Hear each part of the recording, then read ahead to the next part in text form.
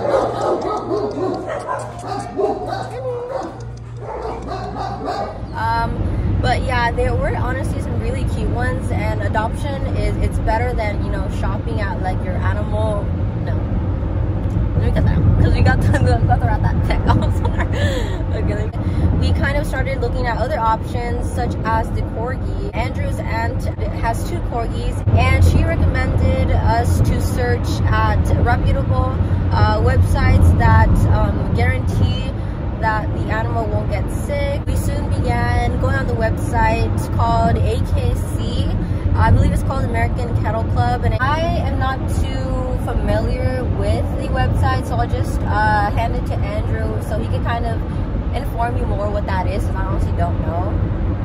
So, the AKC, the best way I could put it in my car term or car brain is it's kind of like CarMax, where you go and you're looking at dogs or puppies and you know their history. They come with some sort of guarantee, whether it be a health guarantee. If you're not happy with the dog, you can return it, stuff like that. And these breeders are also often, they have to go through inspections, in which case you know that the dogs are in good conditions, they're already in loving homes, and some of them, like the ones that we're looking at today, are even partially trained so it's just like it, it's a lot better than buying a dog on Craigslist and like gambling. You don't know the history. You, don't have like a reputable source. They can tell you one thing, but oftentimes you buy a, a pet on Craigslist and then it needs X amount of thousands of dollars in vet bills, potentially, not all the time. Where with this, your money, although you are spending a bit more, it's more of like a buy once, cry once situation rather than sorry, that was a Ferrari SF90. That was beautiful. Rather than um, buying it and then having stuff come up. Yeah. It just it, it, makes the the shopping place a lot easier. More, com more comfortable. Yes, yeah. you're more confident with your money spent. Um, depending on the dog, you know, it could range from one to three thousand dollars. Typically, that's what we saw like the average price was. But with that, it's already been dewormed. It's got its first set of shots. It's depending on the, the depending on the breed, it can have some sort of testing done. So on corgis, there is a spinal condition. It's called DM. I'm sure there's a actual long version of it, but it's abbreviated as DM. And typically, you want to test your dogs for that because if they have that, they have spinal issues, which you obviously don't want. So these dogs, their ancestors have been tested, and that's all known. So, like, we're, we're, we're really confident with what we've heard that everything should go swimmingly. So, yeah. I know that was a bit of a tangent, but if you're actually interested in buying a dog, I recommend going to the AKC website, searching for it. We did reach out to a couple breeders that were on that site. Um, out of the ones we reached out, we did like one of them, which is the one that we are actually going to right now.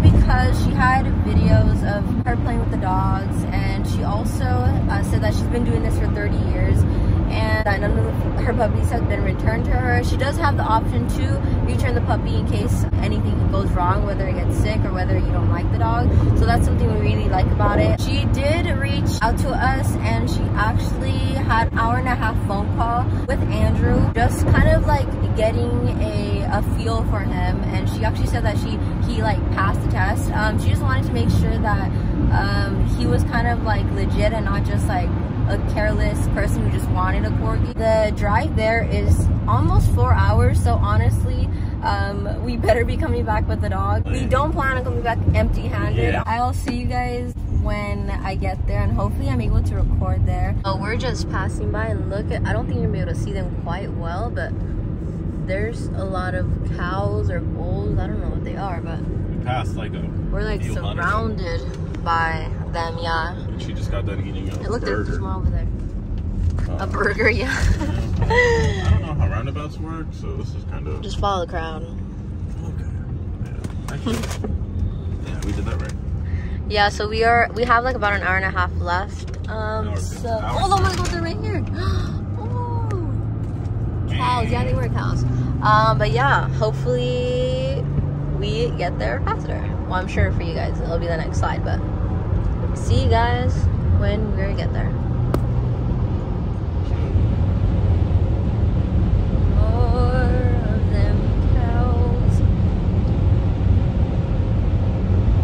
See you guys at McDonald's. I don't. I don't eat beef, so it doesn't matter. But cute. There's also some horses. Oh, there's baby ones. Baby ones. Oh my god. Los Alamos restaurant. Oh, this is a winery a vineyard. I've never seen one in person. I've always seen them on TV.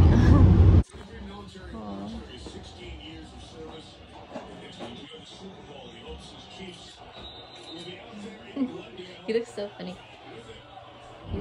Alright guys, after a very hard choice between lots of puppies, I don't even know where I'm looking at. Okay, we decided to go with him. His name um, is Orion. Um, the breeder was calling him what, what, Big Boy or Big Boy. Big Boy because he's bigger than the rest of the litter, and um, he's obviously he weighs. big guy. Big guy, yeah. The uh, the breeder called him Big Guy because he's bigger than the rest of the other puppies, and um, he's honestly way like chubbier and, and just heavier in general. I just thought we got more bang for our buck. No, yeah, um, I really wanted to go with like the traditional King Corgi, but honestly, look at his face. He is the cutest boy. He kind of looks like a little mini German Shepherd, and he has little baby uh, like boots, as we call him. Um, but he is the cutest little thing. Um, everything went well with the breeder. Um, she just kind of gave us more information about like the dogs and all of that. Uh, we are in the middle of nowhere. I have no connection. We are still about, what, two hours away. And he's just holding up like a champ, biting my pants. But yeah, he is 10 weeks old. He already has his first rounds of shots. He gets his second round of shots um, in about a week. We're to take him to the vet and um, get him microchipped. Um, but he is a very cute puppy. He hasn't been too of annoying in this car ride. He's been kind of, for the most part, just chilling, which is really good. Um, hope to give you more information when we are back home. Look at that little face. Another reason why I really liked him is he has some big old ears, which make him super cute. And his face in general is really, really cute. I, know he looks a little funny but right now. But. Yeah, I think out of the whole bunch, we can throw in the video of the other ones, but out of the whole bunch, I think he's the cutest. And I like how his ears are kind of like not so pointing like straight up, but they're kind of sad. Yeah, he looks like Yoda. Grogu, is that you?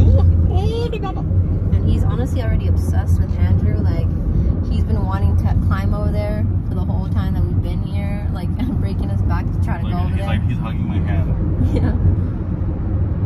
Now he's licking my hand. The breeder said that we, for the most part, have to keep him indoors, um, aka our room, for a week, um, up until we take him to the vet to get his second dose of shots. Um, because honestly, they do have a high risk of getting parvo, and that could kill them, especially since they're Will kill them. puppies. So we are honestly just gonna keep him indoors for now until he's like ready to go. We got a new driver. Take the wheel, puppy. I don't think he likes that. oh, he likes it. He's driving.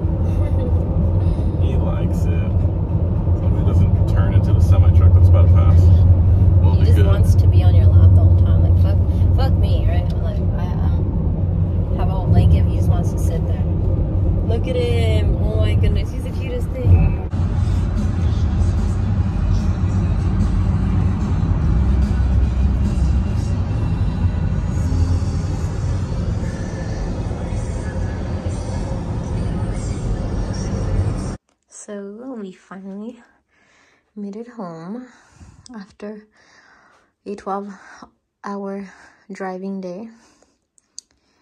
And he is very excited to be home. Huh.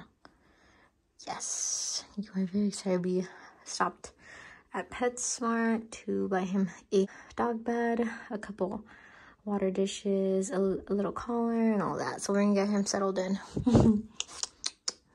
oh, you're so cute.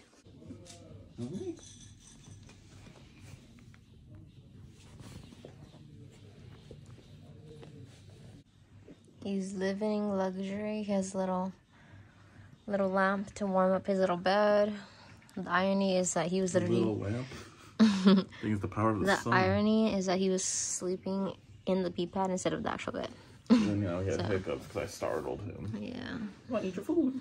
And I just heard his stomach growl, so we brought him his little food bin, but I don't think he wants to eat right now.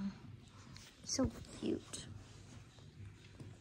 So I forgot to film an outro for you guys, but I just want to say thank you guys for watching. I am so excited to finally have a puppy of my own and I can't wait for us to be able to take him to car meets so you guys can meet him as well.